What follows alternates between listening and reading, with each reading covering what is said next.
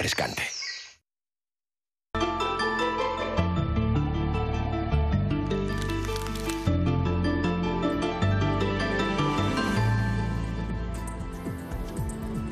La panza de burros hoy la protagonista en muchos puntos del norte de la isla de Gran Canaria, incluida su capital, donde a esta hora de la tarde el termómetro apenas supera los 24 o 25 grados.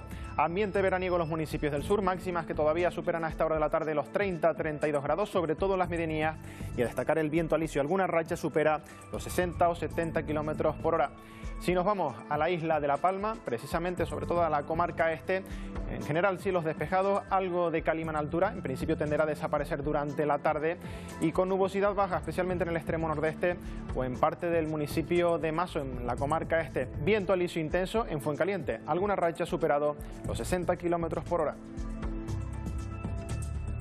¿Qué tal? Buenas tardes. Hay que aprovechar para aquellos que no les guste el calor, tanto esta tarde como mañana, temperaturas en general suaves a la espera de que vuelvan a subir los termómetros de cara a finales de semana.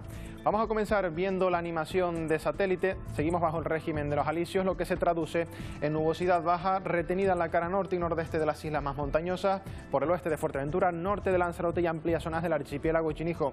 Algunas pincelas de nubes altas que se aproximan por el sur las vemos a esta hora de la tarde, por ejemplo, en el entorno de las cumbres de Tenerife y ligera presencia de calima. Cambiamos de imagen para ver esa nubosidad con más detalle. Como decimos a esta hora, panza de burro compacta todavía por el norte y la capital en la isla de Gran Canaria, extremo nordeste y parte de los municipios del norte de Tenerife, norte de La Gomera, nordeste de la isla del Hierro y también nubosidad baja en parte de la comarca este de la isla de La Palma. En el resto luce el sol con ligera presencia de calima al sur del archipiélago. En principio ese polvo en suspensión tenderá a desaparecer de cara a la tarde, sobre todo ya también de cara a mañana. Y esa nubosidad baja que nos visita desde el norte tiene gran recorrido marítimo y no es descartable que antes de que finalice la jornada se produzcan algunas lloviznas en el nordeste de Tenerife o en el nordeste de la isla de La Palma. Precipitaciones débiles que mañana se repetirán sobre todo a primeras y últimas horas y también durante la mañana del jueves en puntos del norte y nordeste de las islas más montañosas. Quizás también se escapen algunas gotas por el norte de la isla de Lanzarote. Una situación con temperaturas algo más suaves que nos va a acompañar hasta el próximo jueves. Estamos viendo la evolución de temperaturas en zonas de cumbre. Se retira ligeramente esa masa de aire cálido y seco de procedencia sahariana, pero lo que va a suceder es que a partir del viernes y al fin de semana el anticiclón de las Azores vuelva a potenciarse y volverá a salir esa masa de aire cálido y seco que nos va a afectar, sobre todo como decimos ya de cara a, a finales de semana y la próxima semana, porque volverán las temperaturas veraniegas al archipiélago.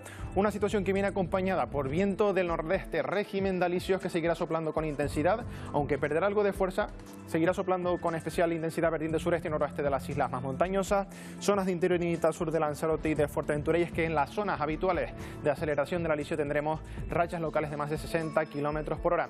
El viento en las cumbres de Tenerife, sobre todo esta tarde y mañana, será del suroeste con algún intervalo de fuerte. Nos quedamos isla por isla con la previsión para mañana. Tendremos un miércoles de cielos nubosos en la isla del Hierro, especialmente en el Valle del Golfo y el extremo nordeste. Incluso cabe la posibilidad de que nos dejen algunas lloviznas en el entorno del Mocanal. En el resto, intervalos nubosos, ratos de sol y temperaturas bastante agradables. Muchas nubes en el cielo de la isla de La Palma, las más compactas de tipo bajo por el norte y la comarca este. Incluso son probables algunas lloviznas en las medianías del este y del nordeste. El ambiente más soleado en las cumbres y en los municipios del oeste, con temperaturas sin grandes cambios o en ligero descenso. Sí que volverá a subir el termómetro de cara a finales de semana. Ambiente nuboso por el norte y la cumbre Gomera, con probables lloviznas sobre todo a primeras y últimas horas en las medianías del norte. El ambiente más soleado y agradable por el sur, con viento liso intenso y temperaturas agradables. La máxima en la capital rondará los 26 grados. Abundante nubosidad baja menos de 1.200 metros de altitud por el norte de la isla de Tenerife, también en el extremo nordeste. No es descartable que nos deje algunas lloviznas, especialmente en los municipios del norte y nordeste a primeras y últimas horas.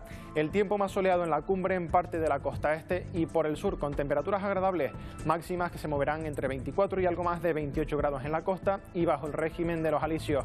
Viento del nordeste que será especialmente intenso, al igual que hoy en la costa de la aldea y en los municipios del sureste de la isla de Gran Canaria.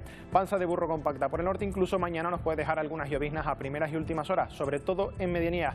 Numerosas horas de sol por el sur, temperaturas en ligero descenso. En principio mañana la máxima rondará los 30 grados, como decimos, sobre todo en medianías orientadas al sur. Salvo intervalos de tipo bajo matinal a primeras y últimas horas en la isla Majorera, numerosas horas de sol, régimen de alisios más intenso en zonas de interior y del sur, especialmente en la península de Jandía, y ratos de sol al igual que en la isla de Lanzarote. La nubosidad más compacta por el norte, también en el archipiélago Chinijo, quizás alguna que otra gota, poco importante, tiempo soleado y agradable en la capital, donde la máxima rondará los 26 o 27 grados.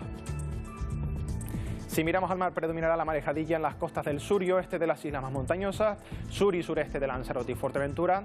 En el resto, marejada, fuerte marejada, sobre todo en costas expuestas al alisio. Y tendremos mar de fondo del norte entre el metro y el metro y medio de altura. Y terminamos como siempre con imágenes. Les invitamos a que compartan sus imágenes a través de las redes sociales. Empezamos con el amanecer de hoy desde Las Palmas de Gran Canaria con esa panza de burro bastante compacta.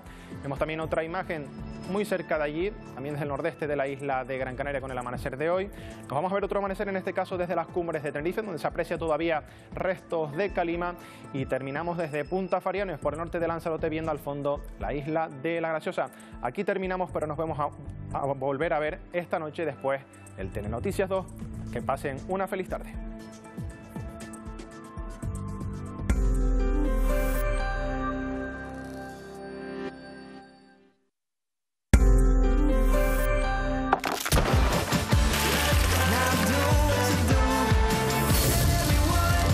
Firgas Fresh. Sorprendentemente refrescante.